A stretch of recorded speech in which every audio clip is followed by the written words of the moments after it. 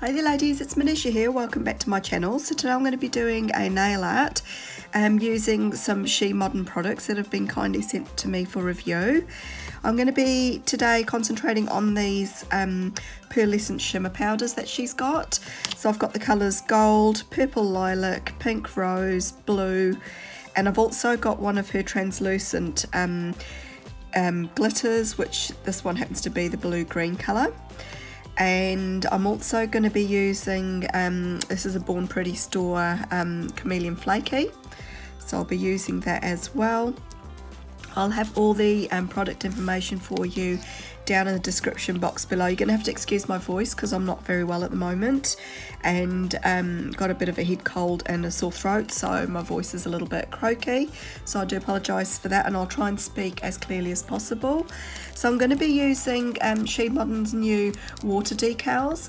So she's got foil um, foils that she's done for a little while now um, and she's recently released them as a water decal version of the um, the foils. So these are used like a traditional water decal, but you do have to cut out the images that you want to use. So I'll be using that and also her mixing canvas. And um, this is the design I'm going to be working towards. I don't I sort of um, have sort of had a bit of a play and this is what I've created. So this is the design I'm going to be working on today to um, on my nails so you'll see how I do that um, I've also already got um, a couple of coats of Mavala Slick Opal on my nails and that's fully dried. I will be using um, Seche Vite and just a cheap top coat that I have. So this is just one that is the Daiso brand, but any other cheap top coat will do. Um, this is just so you don't contaminate your good top coat. And I've got a secret weapon. I'm using these um, these shimmers, I've tried a new technique and I've um, got a like a sort of water uh, a border pen sort of thing that you can you can actually add water to it and you use it with watercolors.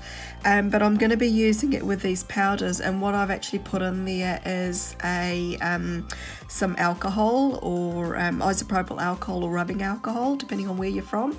That's what I've put in there. So I will leave a, um, a link for the seller that I purchased this from on AliExpress. It does come in a pack of three so there's three different sizes there. There's um, small, medium, large. I've used the medium size there, but they do come in a pack of three. Now this, they're very cheap. I found them very affordable and um, very, very easy to use. You will need a dropper or a funnel or something to get some isopropyl alcohol in there.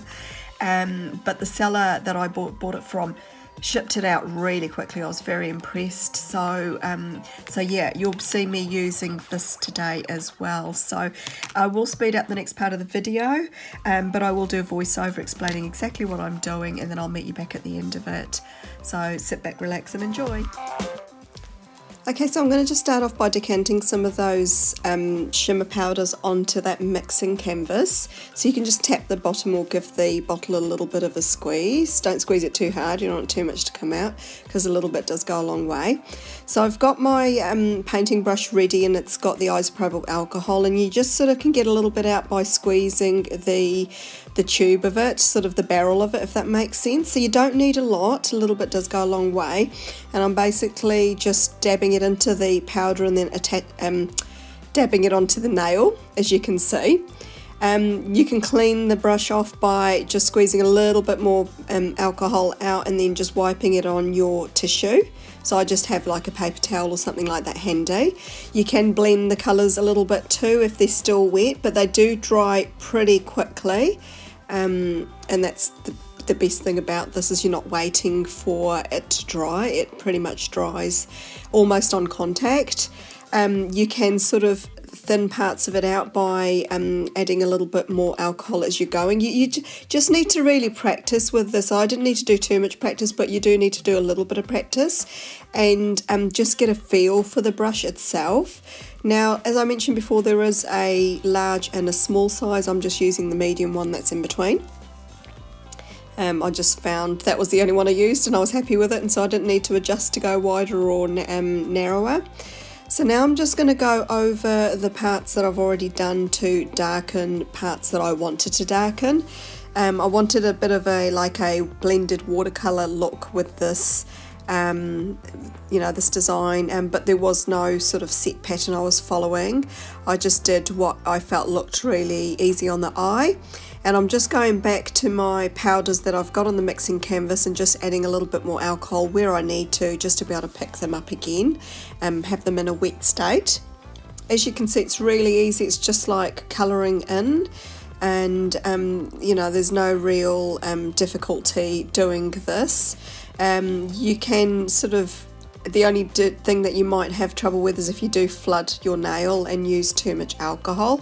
But as I said because it dries pretty quickly um, it, you're not really going to get into too much um, you know like trouble with it.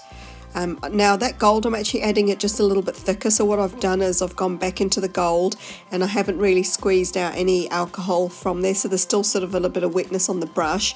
And I've just picked up the powder just to darken those areas. Um, I just wanted that gold to sort of come down down the nail. So now I'm just going to really speed up the next part of this video and just show you me doing all of my nails. And um, like I said before there's no set pattern to this. I'm just doing what I like the look of. But I'm just showing you that it doesn't actually take that long to do all of your nails. I just took time on that thumbnail because I wanted to show you the detailing involved. Um, and see how I'm doing this first layer is quite um, sheer um, and thinner and lighter. You can just leave it like that if you want to, but I just wanted to darken it, and that's why I sort of went over it a couple of times. So you can add the colours in whatever order you want to. Um, the brush will have staining um, on it, but it doesn't affect how it works at all. I did try sort of dunking it in alcohol just to clean it, but I found that it wasn't going to come off, so I, I'm okay with it, but I am just going to let you know that that's what will probably happen with your brush over time. So I'm just adding more and more layers here and there where I feel like there might be gaps or I just want a little bit more colour. Now, as I said, this dries really, really quickly, so you don't have to wait ages for it. Um, and I just use my cheap top coat. I didn't want, want to contaminate my Seche Vite or anything like that. And I just ended up using that um, cheap top coat that I had. Like always, whenever you're using powders and pigments, just double check the brush before putting it back in the bottle um, because you don't really want to, um, you know, dirty up your um, top coat or anything in any way. I'm going to add a little bit of the um, glitter and the flaky. So this is where I'm adding my cheap top coat. So I'm just sort of floating the brush over and I'm going to clean it. So I've just sort of wiped it off camera there um, before putting it back into the bottle. Now because I've got a wet surface on my um, nail, I'm just going to add the glitter onto that wet part there and it's had a few minutes to dry and now I'm adding the flakies and I'm just sort of pushing them down. You can see I wouldn't be able to do that if the nail was really wet, but the flakies will stick to a dry polish as well. So that's that part done there. I'm just going to do the same thing on all the other nails. So I've already done the, um, the glitter off camera and um, this is just me adding the flakies on. I just like adding things like flakies and glitters because it just adds more depth to the design and you'll see um, when I finish it what I mean. So that's just a second coat of that cheap top coat going on just to seal that in because I am going to be using the water decals. Now whenever I use water decals I just use a cotton round in the base of a shallow dish and I just wet it just you know sparingly until the cotton round is actually wet and then I actually take my water decals. Now with these ones you do need to trim around the edges so choose which ones you want to use. These koi fish are really um, you know, really, really pretty. I am quite drawn to fish and things like that. So I'm just going to select the two or three that I need. And um, now I'm just going to go in a little bit um, closer with the, you know, the trimming of it. Now, I don't know whether you noticed on that sheet that they are facing two different ways and that's really great because you can use them sort of both facing down you know like towards a nail tip or you can have them sort of in a circular pattern and things like that. Or you can do a mirror image you know you have them all facing one way on one hand and then the other way on your other hand. So you have actually got that um, you know option with these these foils. So I'm just going to give it another bit of a trim. So that only take a few seconds and the um, you can see that other one's starting to curl and so by the time I've cut that second one the first one is ready to use.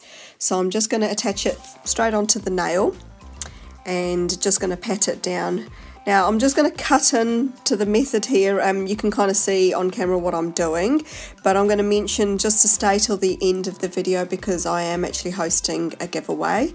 Um, this is kindly sponsored by She Modern, so thank you very much Tina for sponsoring um, yet another giveaway. There's been several that she's um, sponsored here very kindly, and it's going to be five US and five international winners and um, yeah so just check all the rules down the bottom now I've learned another trick. I sort of had a bit of a, um, a test run with these off camera and I found that with these black foils I could actually just use my regular top coat on them. Um, I don't like to use um, fast drying top coat like Seche Vite straight onto them but it is nice to be able to use just your, your normal cheaper top coat and then go in with your fast drying one after everything's dried. And that's basically the design done. So definitely um, enter. You do have to be a subscriber to my channel and to She Modern's YouTube channel, but I will list all the other um, rules and things like that down below for you. So definitely check them out. She's actually got some new foils that are um, non-glossy, so they're actually a matte foil. So I've got some of those coming out to me, and once they arrive, I will do a video just showing um, the benefits of them. So this is for either the foil, the original foils, or these water decals or the matte ones so you're going to be entering for any of those. You can choose your own prize from the extensive range that she has available. And once again thanks to She Modern for sponsoring this um, thank you very much for your generosity. And I hope you all have an absolutely wonderful day